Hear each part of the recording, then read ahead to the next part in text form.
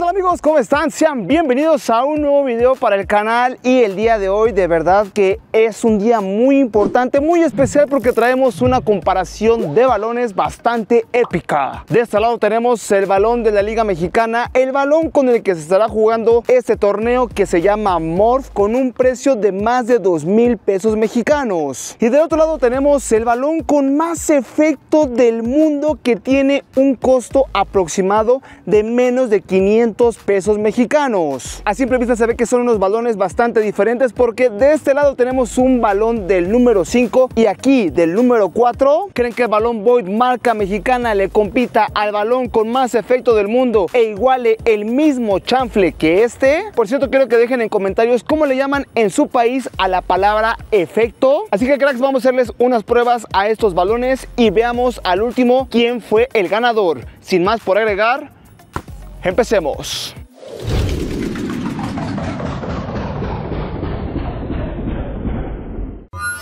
Prueba de bote. Primera prueba amigos en la cual vamos a ver cómo se comportan ambos balones a la hora de dar botes en el pasto. Vamos a ver cuál bota más, cuál bota menos a dos alturas, media y alta. Venga, empezamos con la primera. Una, dos, tres. Uy, no manches, yo vi un empate, ¿eh? Yo vi un empate. Vamos con la segunda altura. Una, dos, tres. ¿Ok? Se están dando con todo y... No puede ser. Veo un empate también, ¿eh? Cabe recalcar que ambos balones fueron inflados a la misma presión y como se dieron cuenta, tuvieron un empate con ambas alturas, amigos. Se ve que esto va a estar muy reñido, así que vamos con la siguiente prueba. Características y diseño. En este punto amigos hablaremos de cómo se ven físicamente los balones y qué característica o tecnología tiene cada uno. Vamos a empezar con el balón Void en el cual tiene un diseño bastante llamativo, me atreveré a decir que es bastante futurista, en la cual tiene una combinación de colores bastante impactante. Se puede observar que tiene un diseño de holograma en los cuales si ves un punto del medio sientes que te mareas. La verdad a mí me encantó las sombras que conlleva el contorno de este balón. Respecto a la tecnología podemos observar que es un balón FIFA Quality Pro, o sea que contiene lo mejor de lo mejor. Es un balón termosellado y a simple vista y como lo estoy tocando, se ve que el balón es bastante cómodo. Así que bueno amigos, la calificación general de este balón es de 9.5 de 10. Y ahora vamos con el balón con más efecto del mundo. ¡Wow! Se siente súper acolchonado. Es como si tuvieras un cojín aquí en tus manos. Para este balón podemos observar que es cosido con hilo y en caso contrario al Void, este no contiene un sello el cual permita que respalde la tecnología de este balón. La combinación de hexágonos naranjas con blanco se me hace bastante sencillo. Y pues ya no tengo nada más que decir de este balón, amigos. Así que la calificación hasta este momento de este balón es de un 7 de 10. Y cracks, como siempre los queremos ser partícipes de estas comparaciones. Hemos hecho una encuesta en nuestro Instagram y esto es lo que ustedes han votado. Si quieren participar para la próxima, ya saben seguirnos en todas nuestras redes sociales. Así que ahí los esperamos. Tiro y amortiguación.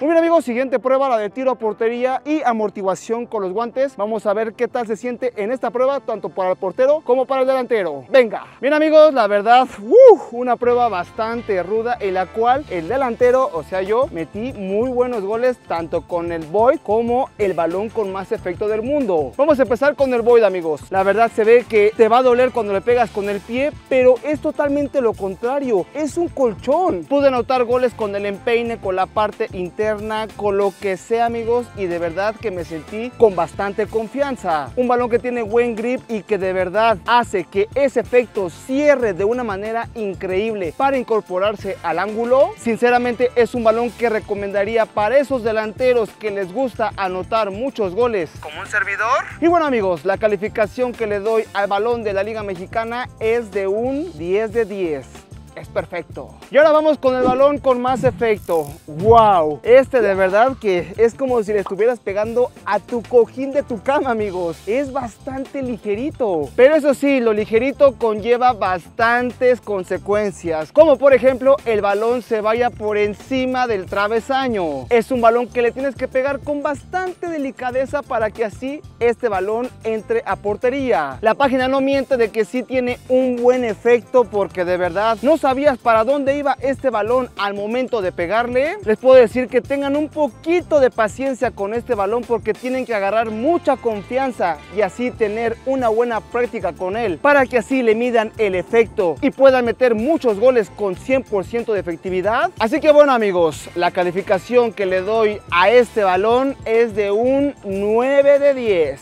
Muy bien, cracks, en cuanto a los porteros, el balón Boy, déjenme decirles que es una chulada. Se siente como un verdadero balón profesional de nivel top. Obviamente cuando el delantero, en este caso vecino, le daba con potencia, claro que agarraba una buena curva, no exagerada, pero más o menos ya sabías a dónde iba a caer el balón. Eso sí, hay que tener unos buenos reflejos porque realmente es una bala. Así que debes de tener mucho cuidado con él porque sí es peligroso para el portero. En cuanto al impacto, por supuesto que sí se siente, sí duele un poquito, pero como cualquier balón, nada grave. Respecto al grip, tiene muy buen grip, chequen esto. Así que los porteros lo van a amar. Por supuesto no es una cosa muy exagerada, pero por supuesto que cuando pones las manos en el balón, claro que se queda contigo. Ahora bien, que si hablamos del balón con mayor efecto del mundo, es una locura para los porteros, porque no sabes bien a dónde va. A veces el balón parece que va a salir del arco, pero en realidad o cierra la curva o baja demasiado. Ya no sabes ni qué esperar con él. Es muy peligroso para cualquier tipo de porteros. Como dice vecino, a lo mejor al principio como que puedes ir adaptándote a él para que más o menos puedas adivinar las curvas porque no al 100% las vas a adivinar, pero más o menos ahí ya te puedes aventar un poquito e intentar atrapar uno que otro. La gran ventaja de esto es que no duele para nada, es muy ligero, es como un colchoncito como decía vecino, se siente muy agradable a las manos, así que principalmente para los niños este les va a agradar muchísimo porque también no es nada pesado. Si me dieran elegir uno de estos dos, por supuesto que me quedaría con el Void porque con este no se sabe a dónde va el balón. Control de balón.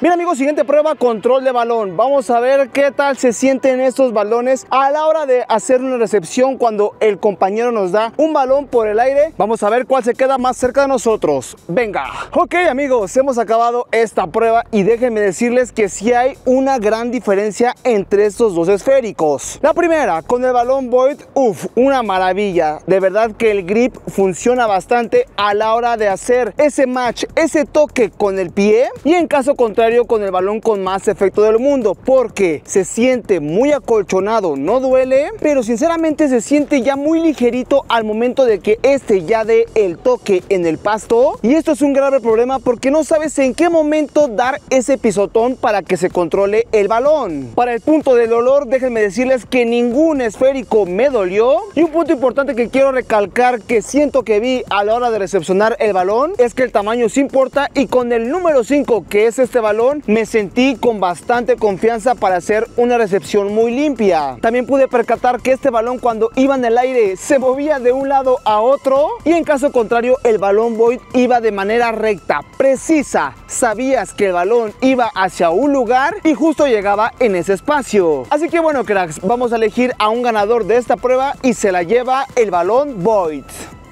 Fútbol freestyle.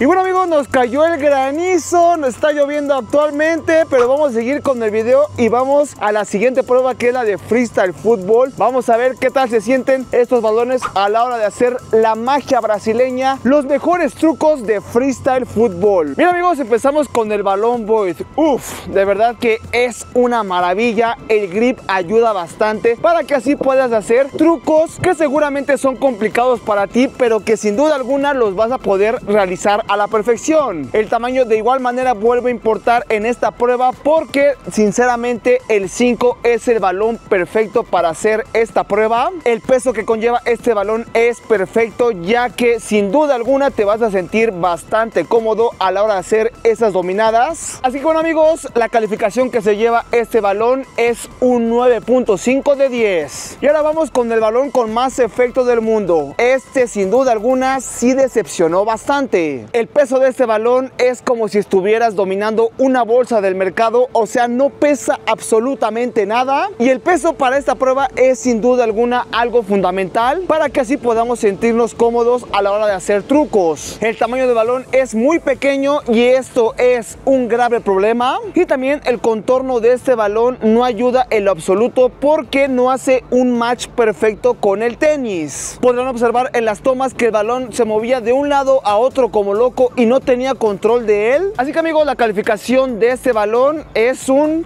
5 de 10. Reprobado. Muy bien amigos, hemos acabado esta comparación de balones y como están observando ni la lluvia pudo parar este video. Si quieren ver más videos épicos como estos, déjenlo en comentarios con quién les gustaría tener una batalla, supongamos Nike contra Adidas, lo que sea cracks. Y también dejen muchísimos likes para que así podamos ver si les gustó bastante este tipo de videos. Si no nos sigues en redes sociales te invito a que nos sigas porque estamos subiendo contenido diferente y único para todos ustedes. Y bueno amigos, sin más por agregar, tu amigo el vecino y nos vemos en la próxima. Bye bye. Estoy demente, Parker.